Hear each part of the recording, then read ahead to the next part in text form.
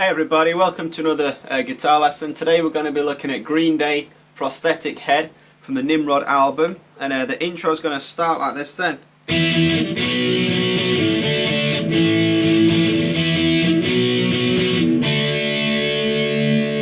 Okay, so uh, to play that then it's just a couple of different power chords. Index finger, fret 7 string 5, ring finger fret 9 string number 4 and your little finger fret 9 string number 3.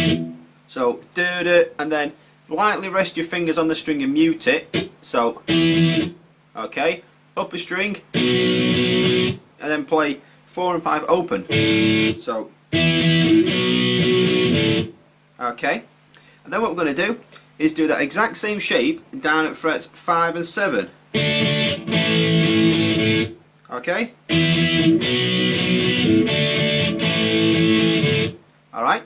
And then if you look at the second part of the tab, starts off the same. When we go down to the 5 and 7 though, just play that once and let it ring out so. Okay, that's how to play the intro. So for the verse then, where it sings I see you, it's going to be exactly the same as the intro, except for like we're not going to stop when we get to the 5 and the 7, the pattern's going to keep going like this.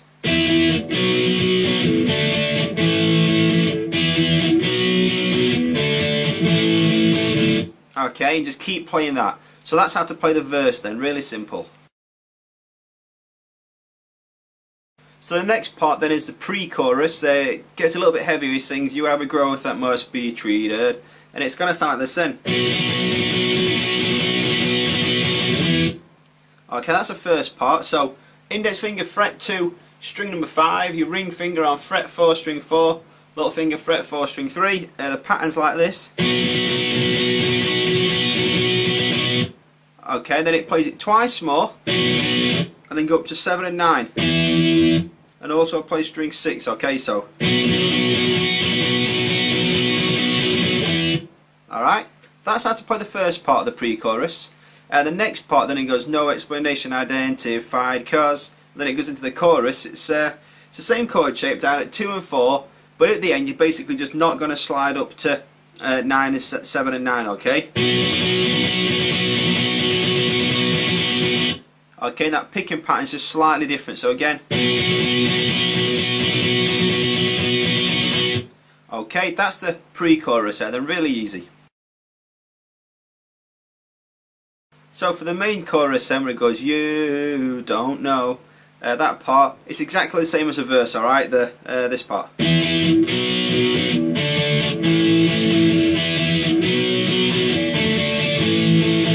Nothing uh, different for us to learn there. So next up then we've got the bridge, it's just going to be more power chords. It can be a little bit of a, a tricky pattern though, but it's going to sound like this.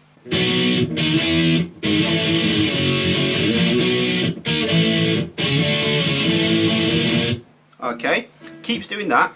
So uh, index finger, fret 7, string 6, ring finger, fret 9, string number 5, little finger, fret 9, string number 4. Okay, then go down to 8 and 6 and down a string, across to 7 and 9. Okay, so. Alright, from there then, index finger fret 4 string 6, ring finger fret 6 string 5, little finger fret 6 string number 4, and then up to 5 and 7, down a fret, and then down 2 frets to 2 and 4. So, okay, uh, what you're going to do then is play that shape again, and go up to 8 and 6. So, okay, that's the first half. If you look at the second part then, it's going to sound like this. So it's a little bit different. Uh, it's going to start off the same, so 7 and 9, then down to 6 and 8, then you're going to go up a string and down to 5 and 7. Okay, so from there then, go down a string and down to 4 and 6. So, okay, up uh, to 5 and 7, then again, and down to 4 and 6. So, okay, uh, from there then, up to 5 and 7 on strings 4, 5 and 6. 1, 2, 3, up to 6 and 8. So all together then, right from the start.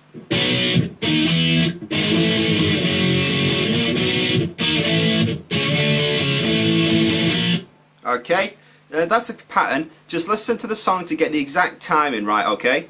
Uh, after that part, then after the... All it's going to do from there, if you look at the tab, is go up to 7 and 9.